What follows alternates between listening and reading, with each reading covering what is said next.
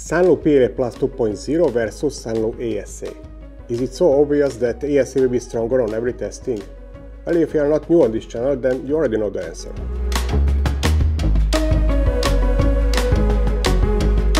Hello welcome to my TechFun to another material testing video. This time Sunlu PLA Plus 2.0 versus Sunlu ASA. The PLA filament was sent to me by Sunlu together with that filament connector and I got too many requests to test this filament and it will be compared to the Sunlu ASA which is also in orange color. These are completely different filament types and if you are new to 3D printing this will be a great example what are the main differences between these two filament types if you are not new to 3D printing. In that case, uh, I'm using the same testing methods and you can compare these results to those which I did in earlier videos. And for my Patreon supporters, I'm adding these two lines to that summary table so that you can easily compare these results to any of those which I did in earlier videos or I will do in the future.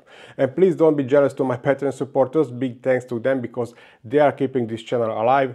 YouTube algorithm don't really appreciate my videos, so without Patreon supporters, there will be very minimal activity on this channel. Just very shortly, PLA, very easy for printing, but it has low temperature resistance, but you will be surprised that in many testings it will be stronger than the ASA filament. On the other side, the ASA, it is more temperature resistant, also it is UV and weather resistant, so it is great for the application which will be outdoors. But it is a little bit harder for printing because of that warping, so it is recommended to use the printer with some kind of enclosure. I'm preparing the 10 ASA filament comparison from different brands and I'm missing a 10 filament, so that's why I bought this one. You will see that video soon, maybe in a month or less. These bags are resealable, don't forget to cut it above the sealing line.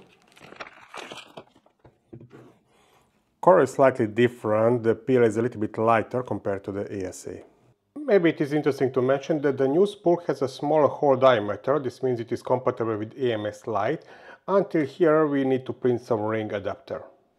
The PLA will be printed on Bambu Lab P1P, which is open printer. And this is still the first element of 230 degrees Celsius.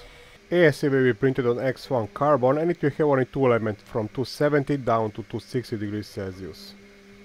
ASA second element is almost finished. PLA this is the last element. Let's take a closer look. Engineering plate works great with ASA. Both temperature tower looks great, no stringing, the overhang came out great. By the way, this element is 270 degrees Celsius, only at that time they didn't predict printing on so high temperatures, so I used this element, but the print temperature was correct. Different settings for generic PLA, 220 on the nozzle and 15 will be the max flow, ASA 270 on the nozzle, and these are the different cooling settings for this generic ABS material, later I will try to reduce it. Both printing times will be less than 1 hour, this is ASA and this is PLA. Lasso elements and the temperature inside the enclosure is uh, 50 degrees Celsius and uh, soon the P1P will be finished too. Everything is printed ready for mechanical testing.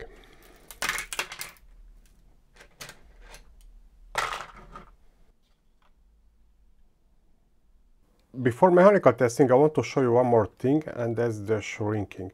The design length of this test object is 80 millimeters and this is almost equal. But with ASA probably we have some shrinking. Definitely yes, and this means that uh, with this we have more warping, but also the dimensional accuracy is also better with the PLA, and this is important for mechanical parts. Tensile test with the horizontally printed test objects, and here you can see the average values. This is the layer adhesion test with vertically printed objects. Little bit low for the ASA. I reprinted these test objects for the layer adhesion test with the lower part cooling, but I can see now that the cooling is not enough here, but let's see if we will have better layer adhesion. ASA with reprinted test objects, and this time much better. 32.7. And from bad layer adhesion, it became a good layer adhesion, but the sweet spot is somewhere between because this quality is not good enough. Two-sided shear stress, and for this I have horizontally and vertically printed test objects. I'm starting with horizontally printed, side by side two materials. We are a little bit stronger here. And these are vertically printed where the layer adhesion is important. And again ASA very weak. Similar break ties, but the numbers are very different. And now the torque or twist test. Again, I have horizontally and vertically printed test objects. These are printed horizontally. I'm recording the load at 90 degree rotation and the maximal load. 1.2, 1.5 the peak. With vertically printed, they will break very suddenly. So here I have only the maximal load. Similar numbers, but very different break types. The impact test with this half kilogram hammer and here I'm expecting some bigger difference. The ASA should be much stronger here. PLA, zero position. ASA, wow. I don't see this too often that the object doesn't break. I will reprint this test object and I will repeat this test on this machine from the eBay. I have a separate video about this machine. Currently the main problem with it is that uh, these weights are too big. I'm waiting some lighter ones because usually it is too much for this 3D printed plastic. But in this case this will be perfect. Sunlu ASA. Zero position the temperature test in the oven and here I'm expecting some bigger difference of course. Uh, this is PLA and this is ASA. Strange blinking from the thermometer, but with materials no surprises here. PLA started to deform at 52 degrees Celsius and ASA at approximately 91 degrees. As expected, I stop the experiment now. After only one minute, I'm able to touch the materials. Of course, the PLA is more elastic compared to the ASA, but this is obvious. The creep test the deformation under the constant load, which will be 1.25 kilograms. And this time I'm recording here in the basement because here I have very constant room temperature. Because I believe on this temperature maybe the PLA will be even better compared to the ASA. But after 5 days, if that will be the case, then I will move them outside and definitely things will change. Yes, more deformation I can see on the ASA part, but let's measure it. 1530, 1672.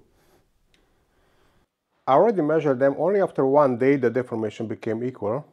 This is day 5, I already measured them and on PLA every day I could measure 1 millimeter additional deformation until basically the ASA stopped with deformation after first day. Now let's remove the load. And this is their deformation after 5 minutes, so much more deformation we can see on the PLA. 3-point bending test speed up video and you can notice on the right side is the ASA filament and we can see more deformation on it. Currently this is under 5 kilogram load and pay attention on under 10 kilograms it is continuously deforming.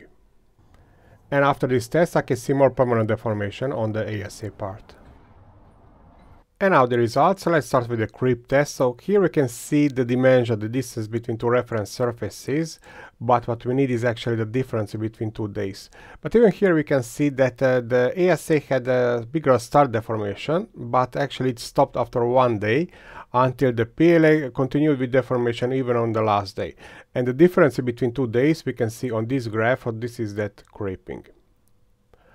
On a tensile test, uh, let's say no big difference, but PLA was stronger a little bit. On the layer adhesion test with vertically printed test objects, the PLA is uh, stronger compared to the ASA with the default uh, part cooling.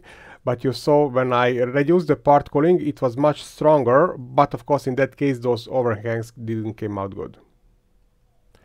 On the shear stress, we have horizontally and vertically printed test objects horizontally printed test objects, no big difference, the PLA was a little bit stronger, but with the vertically printed test objects where the layer adhesion is important, here the PLA was much stronger compared to the ASA. Three-point bending test, and this is a deformation under these loads after 30 seconds, but maybe this is more interesting where we can see the deformation under these loads after 130 and 60 seconds and the smaller values are better of course so this means the PLA was better. But also it is important to notice that on high loads we can see some continuous deformation of the ASA this is some kind of creeping here. On torque or twist test uh, again we have the horizontal and vertically printed test objects.